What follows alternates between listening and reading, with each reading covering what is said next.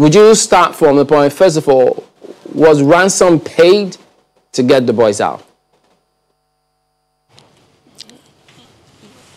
All of the leading actors involved in the release of the children, the students, said no ransom was paid.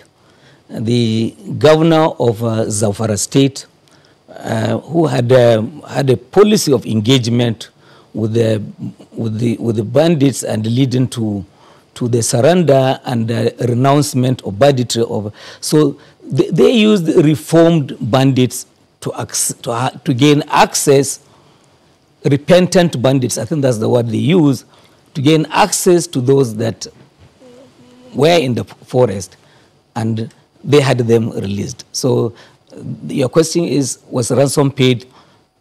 To the best of our knowledge, no ransom was paid because all the leading actors, Katsina, Zamfara, did say no ransom was paid. And you also heard the part where he says that um, these are staged kidnappings. How do you react to that? I just I think they just uh, they just be ridiculous because uh, how can anybody do this?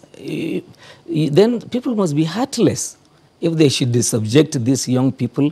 You, have been reporting accounts from young people, these young people kept in the forest, fed once on, on, on, on, on, raw potato and, uh, and, and the drips of water for seven days. See how much suffering they were subjected to.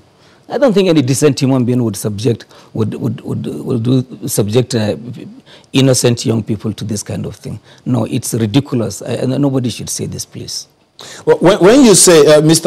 Uh, Mr. Kachonoji, when you say that you know you had this issue raised over time, and um, now they are happening the way they are happening, when you raise these issues, to whom specifically did you raise them, and what was the reaction you got?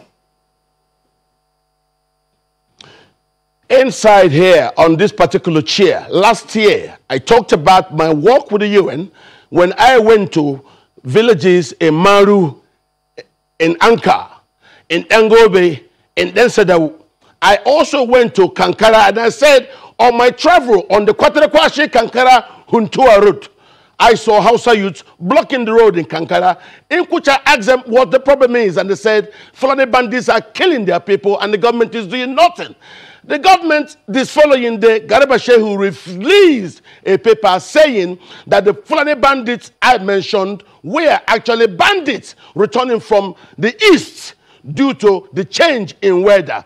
I recognize that. He was trying to make it as if those who were in violence in Kankara were uh, headsmen who were returning back from the south at the end of the season. But no, here again, two months ago, I repeated about my visit to Damusa, to Batsari, to Safana, to Dutsin-Ma, and Kankara. Government did not provide that protection in Kankara. So if we have been talking about crisis in Kankara, crisis in Kankara, and government is not there to protect the people,